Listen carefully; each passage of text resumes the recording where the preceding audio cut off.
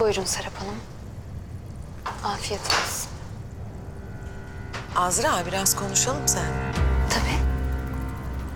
Yani bir takım şeyleri baştan konuşalım ki sonradan tatsızlık yaşanmasın.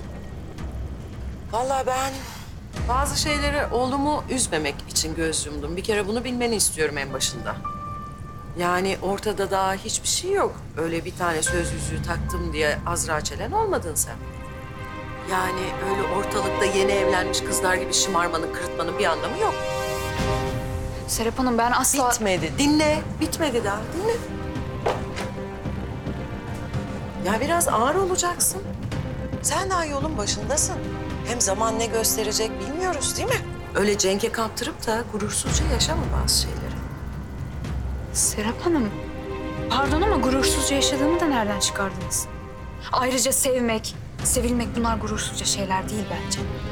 Ve biz Cenk'le birbirimizi seviyoruz. Keşke siz de nefretinizi bir kenara atıp artık sevmeyi denesiniz. İşine dönebilirsin Azra. Teşekkür ederim.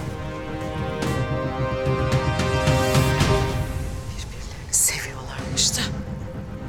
Hadsiz. Serap Hanım, bu sizeymiş. Kimdenmiş?